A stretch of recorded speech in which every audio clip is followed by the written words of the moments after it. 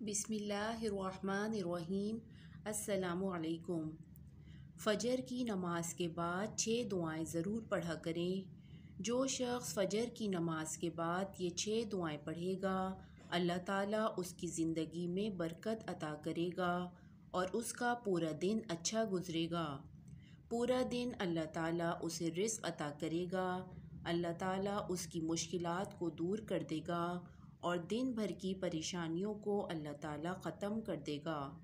یہ دعائیں پڑھیں۔ نمبر ایک، اللہم انی اسألک العافیت فی الدنیا والآخرہ۔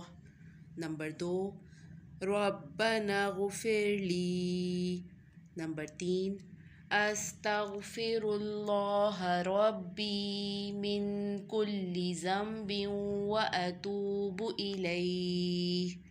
نمبر 4 ربنا تقبل منا إنك أنت السميع العليم. نمبر 5 يا راحم المساكين. نمبر 6 لا الہ الا انت سبحانک انی کنت من الظالمین فجر کی نماز کے بعد یہ دعائیں پڑھا کریں۔ ان دعاؤں میں بہت خیر اور برکت ہے۔ جو شخص فجر کی نماز کے بعد یا صبح کسی بھی وقت یہ دعائیں پڑھے گا، اللہ تعالیٰ اس کی زندگی میں خیر اور برکت ڈال دے گا۔